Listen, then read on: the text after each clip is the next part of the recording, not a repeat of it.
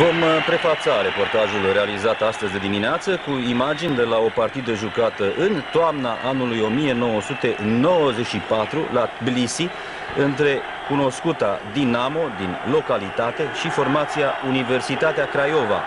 Un meci din primul tur, ba chiar tur preliminar, dacă nu mă înșel, al Cupei UEFA, însă o partidă oarecum de referință, grație căreia am putut descoperi, toți cei prezenți acolo, că fotbalul gruzin posedă în continuare talente deosebite, jucători tineri care aveau să confirme în mare parte de atunci încoace, în anii care au urmat. Iată echipa gruzină în partea dreaptă, în partea stângă, complet în alb, echipa Universitatea Craiova. Meciul de la Blisi, câștigat în cele din urmă cu 2 la 0 de fotbaliștii gruzini, ei aveau să se califice în primul tur al Cupei UEFA. A fost dominat de la un capăt la altul de echipa gazdă, care a ratat o impresionantă suită de ocazii la poarta nefericitului Arcan. Vom folosi, deci, aceste imagini de arhivă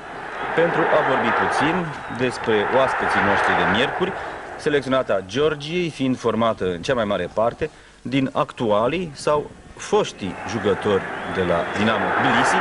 o parte dintre ei fiind între timp, între timp transferați în străinătate, așa cum am mai spus. Astfel să precizăm mai întâi că vor veni la București 9 jucători gruzini care activează la echipe de peste hotare, începând cu excelentul Georgi Kinglatse de la Manchester City, pe care l-ați văzut de altfel marcând aici primul gol al partidei la care ne referim, și continuând cu Șota Arvelatse de la Trabzonspor, Zveiba, Aeca Atena, cu Dinov, Olympiacos Nicosia sau Ceadadze de la Eintracht Frankfurt. În rest, în marea majoritate, vor veni la București jucători tineri, pe care antrenorul Alexandru Civațe și el de la Dinamo Tbilisi i-a promovat nu cu mult în urmă în echipa Georgiei.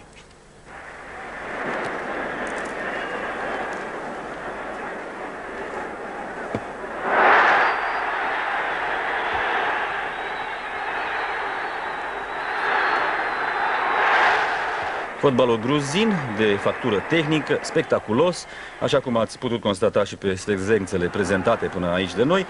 a dus ani de zile lipsa competițiilor internaționale, reușind să intre cu adevărat în scena europeană abia acum câțiva ani, după dezintegrarea Imperiului Sovietic. În precedentele meciuri de calificare la campionatul european, Georgia a fost în grupă cu Bulgaria și Germania, având prea puține de sperat alături de asemenea adversari. Nu ne îndoim însă că miercuri, spectatorii de pe stadionul Steaua vor putea urmări o excelentă formație națională gruzină, ce se va arăta un adversar serios pentru echipa noastră națională.